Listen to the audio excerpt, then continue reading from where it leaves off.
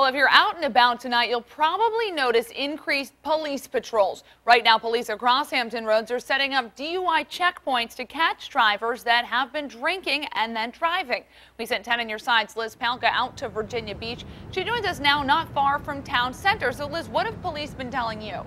Well, Deanna, police say they are focusing on this area of town center. First, they have thousands of people here that are here for last night on the town. They want to make sure it is a safe family oriented event that it was meant to be. But like any holiday, they have a lot of concerns for drunk drivers.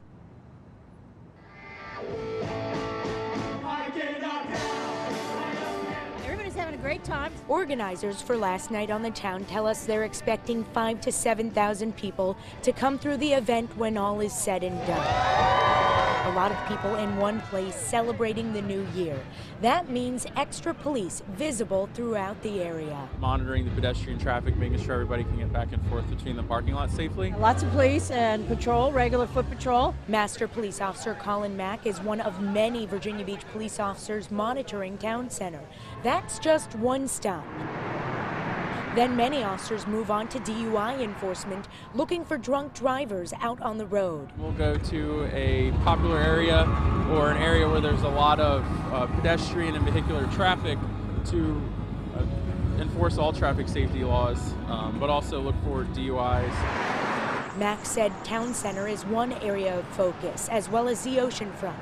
There will also be saturation patrols. You see about 10 police cars uh, in a couple of miles. That's a saturation patrol, generally speaking. Police say they have many ways they plan on keeping people safe as they ring in this new year. But there will be checkpoints throughout the city this evening, and I would imagine probably in other cities as well. The police said tonight it is not worth drinking and driving, encouraging anyone to call a friend or a taxi cab. As for last night on the town, there's still plenty of festivities going on. They have a ball drop at midnight in an hour. They also have fireworks then, too. Live in Virginia Beach, I'm Liz Palka, 10 on your side.